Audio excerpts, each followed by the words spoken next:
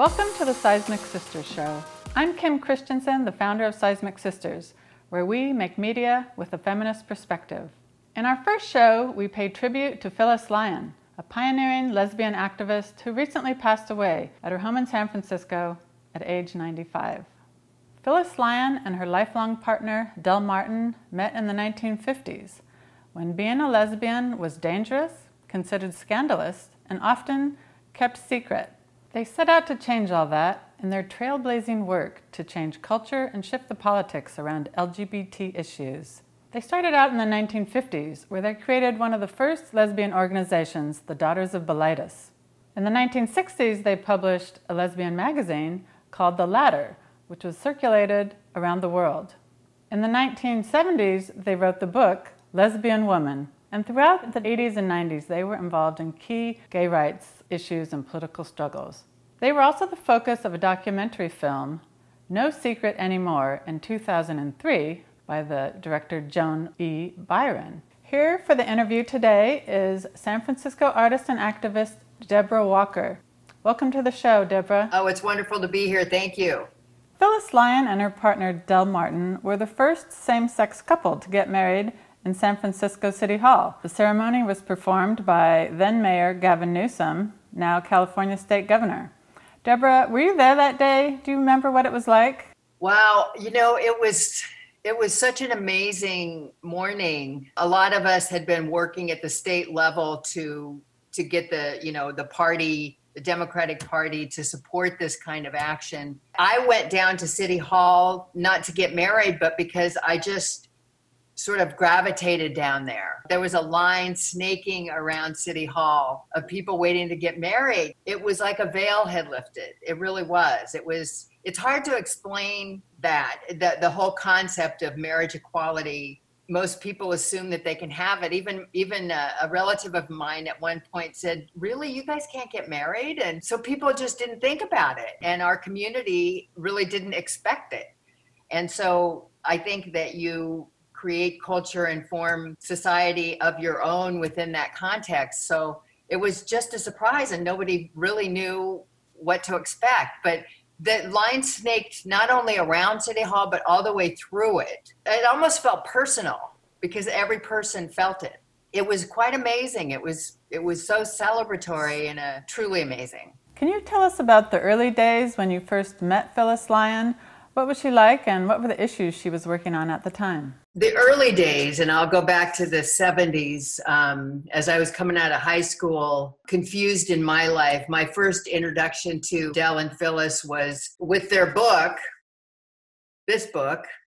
There was so little attention paid at the time to lesbian issues or lesbianism, I suppose. There was a lot of talk about gay and homosexual, but oftentimes women were left out of the conversation. So there were a lot of us out there struggling with our sexual identity and um, coming upon a book I know that influenced them, The Well of Loneliness, which is the most depressing book. and yet, it was a shared experience which started the process, I think. You know, people uh, realized they weren't alone and those of us out in the community who were able to read and you know get lesbian woman the book that they they put together talking about their life it really brought a lot of us out.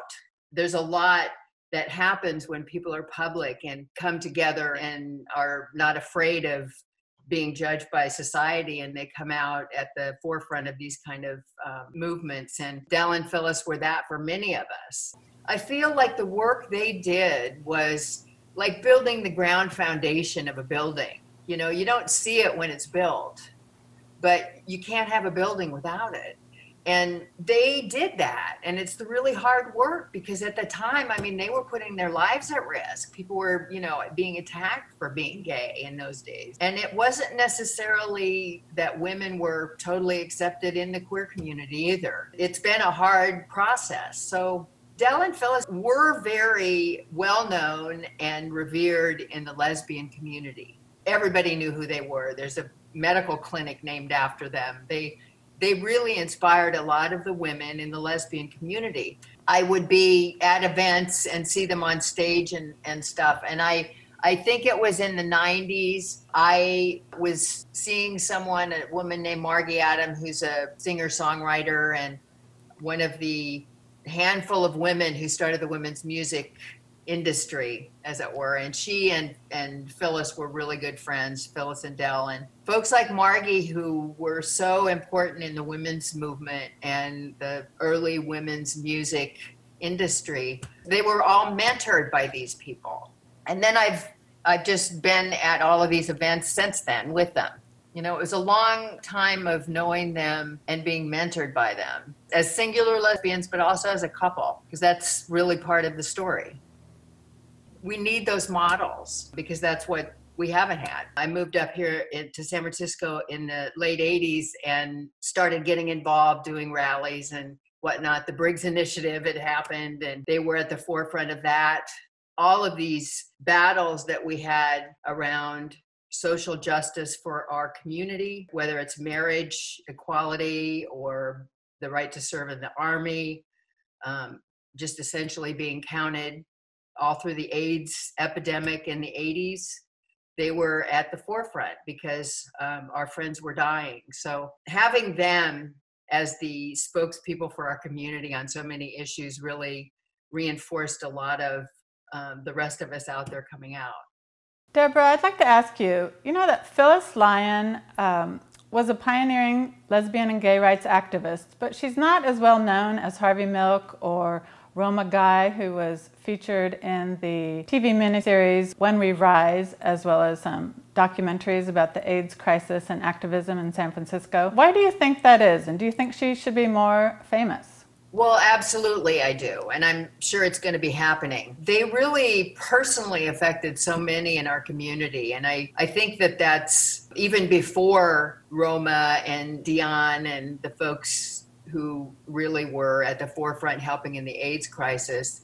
Del and Phyllis were, were way back in the 50s. I mean, there was incredible homophobia. And there was also, on top of that, a lot of sexism not that there is isn't now, but back then it was really um, accepted. I mean, it was it was part of what was okay to do. And so, as I was able to get their book in the 70s, and as the Briggs Initiative came out in 78, I know that they were really active in that, where they were trying to say that you couldn't be gay and a teacher because it was too much influence on kids. And hmm. that was mainstream at the time. I really oh. like what they did, you know, with We Will Rise, the miniseries, because it's oftentimes so complicated and layered that you can't just capture it in an hour and a half movie or two hour movie. And it does um, lend itself over the decades to that kind of format. And I'm sure there are a lot of stories there, a lot of rich material to mine. Totally. I mean, just from the beginnings of they formed the Daughters of Bilitis. Um, the Mattachine Society had been around for a while when Phyllis and Del, you know, got together, you know, there is a, a lack of support in society, at, especially at that point for um, the gay community. And generally it was around bars and social clubs and bathhouses. And that's not how women, um, most women, I'm not going to generalize, but we don't, we, you know, we want to go out and have coffee and meals and more of a sort of social club, which is what they wanted to do with the Daughters of Bilitis, and figured that using that name, the straight community wouldn't know what we were talking about, but every lesbian would. and Debra, do you know where the Daughters of Bilitis, where the name came from? That was the lesbian poetess in the days of Sappho. The focus would be to to put out information that people you were trying to reach would know what you were talking about. So it was um, kind of a smart move on their part for their their forming of this social club. And that's really what it was. It wasn't meant to be political or anything but it ended up as the front wave of a movement really. Did they use it as sort of like a salon for artists and intellectuals and activists together? And it and it it brought people together because that's the i mean culture as we're seeing now in this age of social distancing.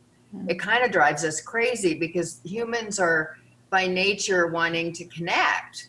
And so especially when when you feel like society isn't supporting you and going to a bar is not necessarily what you want to do because you don't want to deal with, and, and not even at the time there wasn't even a, a lesbian bar, and the gay bars were underground, and and you know the men accepted us there, but it was it was very different. I mean, it was very different back in that time. So and it was dangerous. So this was a safe place to gather and Yeah, absolutely. We were all women and they were all women. I wasn't around at the time, but that's the whole concept of these kind of things is to really um, create a, a, a salon is a very good definition for it where people would come and talk about politics and talk about issues and the relationships and be supported.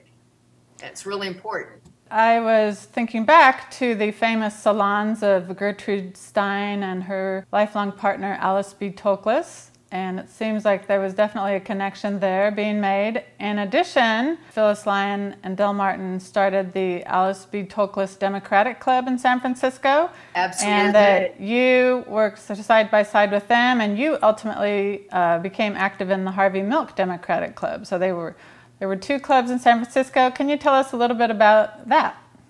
Well, the politics in San Francisco, we have um, a very active LGBTQ community here, enough so that we have two political clubs, and one is the Alice B. Toklas Democratic Club, and one is the Harvey Milk Democratic Club. And and um, you know, the argument all the time is who's more progressive, and so um, it gets really heated, and the differences are real, even if imagined. and um, so I was president of the Milk Club. They started the Alice Club and have been involved in it. Um, at the time I became president, they were, you know, not necessarily in leadership, but they were members, and they've always been members. So, um, but it's it's raucous. I mean, there there are days, there were elections where. Um, because you would go out in the corner and hand out leaflets, especially in the Castro. That's where we had the most influences in District 8. I can't remember what it was at the time, but um, you'd have to camp out at two in the morning to get the hot corners. and there were several times the police were called because it really did get, uh, you know, raucous and emotional. Yes, very fun. I also had read that Phyllis Lyon and Del Martin had their phone number listed like in the public phone book in those days and that they did so intentionally so that young gay people who were you know coming into San Francisco could have a safe place to land and kind of get oriented. So it sounded like they acted a bit like den mothers uh, in that instance for the community. Do you know anything about that? Well, I know that they did, and I they've always been accessible. I've I've gone to meet with them several times. I mean, the only requirement is that you can that you could climb up a bunch of stairs of ladders because they lived on the top of a hill in the Castro area. So they were den mothers. They were who leadership in City Hall would go to to talk about how to reach out to the community as we were trying to forward rights for us. But there were so many people that I, I didn't call them personally when I moved here, but many people have told me that story where they were just, they listed their phone number and they were accessible. You know, that's who they are. They, they, made a decision early in their relationship and lives to be there for the community.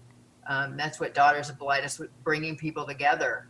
And people do come to San Francisco to escape from situations that are hurting them emotionally or physically. And um, having that kind of access to people who know where the services are and where there's housing and can help people settle in is really important. What I'm saying is their legacy is really a personal one for many of us in our community. They they created a a foundation of coming together in advance of the the huge need and built people in it, you know, and and so there's a lot of folks like Cleve Jones and Harvey Milk and Ammiano who have been influenced by them.